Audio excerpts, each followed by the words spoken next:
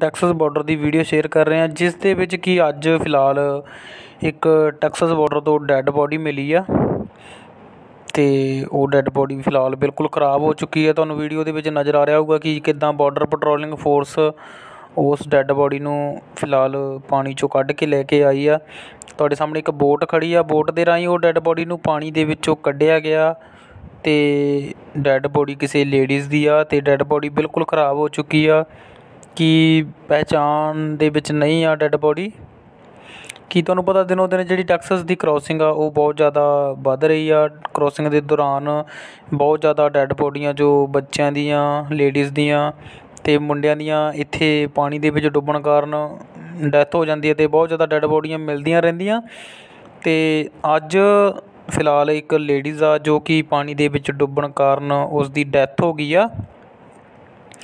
Death ਹੋਏ ਨੂੰ ਕਾਫੀ ਦਿਨ ਹੋ ਗਏ ਆ ਅਤੇ ਡੈੱਡ ਬੋਡੀ ਬਿਲਕੁਲ ਪਹਿਚਾਣ ਦੇ ਵਿੱਚ ਨਹੀਂ ਹੈਗੀ। ਡੈੱਡ ਬੋਡੀ ਖਰਾਬ ਹੋ ਚੁੱਕੀ ਆ ਕਿ ਇੱਕ ਮਜਬੂਰੀਆਂ ਦੇ ਕਾਰਨ ਫਿਲਹਾਲ Mexico to America, Texas border ਜੋ ਕ੍ਰੋਸ ਕਰਦੇ ਆ, ਉਹਨਾਂ ਦੇ ਹਾਲਾਤ ਬਹੁਤ ਖਰਾਬ ਆ ਕਿ ਜੋ ਨਦੀ ਆ ਟੈਕਸਸ ਦੀ, ਉਹਦੇ ਵਿੱਚ ਬਹੁਤ ਜ਼ਿਆਦਾ ਲੇਡੀਜ਼ ਵਗੈਰਾ, ਬੱਚੇ ਵਗੈਰਾ ਡੁੱਬ ਜਾਂਦੇ ਆ ਅਤੇ ਕਾਫੀ ਦਿਨਾਂ ਬਾਅਦ ਉਹਨਾਂ ਦੀਆਂ ਡੈੱਡ ਬੋਡੀਆਂ ਜੋ ਕਿ ਇੱਕ ਫੁੱਲ ਕੇ ਉੱਪਰ ਆ ਜਾਂਦੀਆਂ ਅਤੇ ਉਹ ਖਰਾਬ ਹੋ ਜਾਂਦੇ, ਬਹੁਤ ਬੁਰਾ ਹਾਲ ਹੋ ਜਾਂਦਾ ਅਤੇ ਕਿ ਉਹਨਾਂ ਦੀ ਫਿਰ ਪਹਿਚਾਣ ਵੀ ਨਹੀਂ ਰਹਿੰਦੀ ਅਤੇ ਜੋ ਬਾਰਡਰ ਪੈਟਰੋਲਿੰਗ ਫੋਰਸ ਉਹਨਾਂ ਨੂੰ ਕੱਢ ਕੇ ਫਿਲਹਾਲ ਤੁਹਾਨੂੰ ਪਤਾ ਕਿ ਅੱਗੇ ਦੀ ਕਾਰਵਾਈ ਇਹਨਾਂ ਦੀ ਕੀ ਦਫਨਾ ਵਗੈਰਾ ਦਿੰਦੇ ਆ ਅਤੇ ਡੈੱਡ ਬੋਡੀਆਂ ਬਿਲਕੁਲ ਪਹਿਚਾਣ 'ਚ ਨਹੀਂ ਆਉਂਦੀਆਂ।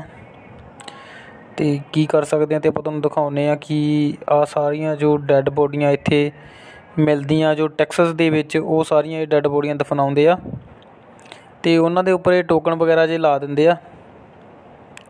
ਆ ਤੁਸੀਂ ਦੇਖ ਸਕਦੇ ਹੋ ਕਿ ਇੱਥੇ ਸਾਰੀਆਂ ਡੈੱਡ ਬੋਡੀਆਂ ਜੋ ਕਿ ਇਹਨਾਂ ਨੇ ਇੱਥੇ ਦਫਨਾਈਆਂ ਗਈਆਂ ਜੋ ਟੈਕਸਸ ਏਰੀਏ ਦੇ ਵਿੱਚ ਡੈੱਡ ਬੋਡੀਆਂ ਬੱਚਿਆਂ ਦੀਆਂ ਲੇਡੀਜ਼ ਦੀਆਂ, ਜੋ ਬੋਆਇਜ਼ ਵਗੈਰਾ ਦੀਆਂ ਮਿਲਦੀਆਂ ਨੇ, ਉਹਨਾਂ ਨੂੰ ਫਿਲਹਾਲ ਇੱਥੇ ਦਫਨਾ ਦਿੱਤਾ ਜਾਂਦਾ ਅਤੇ ਉਹਨਾਂ ਦੇ ਉੱਪਰ ਆਹ ਟੋਕਨ ਲਾ ਦਿੱਤੇ ਜਾਂਦੇ ਆ ਕਿ ਉਹਨਾਂ ਦੀ ਪਹਿਚਾਣ ਪਛਾਣ ਕਰਕੇ ਉਸ ਤੋਂ ਬਾਅਦ ਉਹਨਾਂ ਦੇ ਨੇਮ ਵਗੈਰਾ ਲਿਖ ਕੇ ਟੋਕਨ ਲਾ ਦਿੱਤੇ ਜਾਂਦੇ ਆ। ਅਤੇ ਵੀਡੀਓ ਵਧੀਆ ਲੱਗੀ ਸ਼ੇਅਰ ਕਰ ਦਿਓ।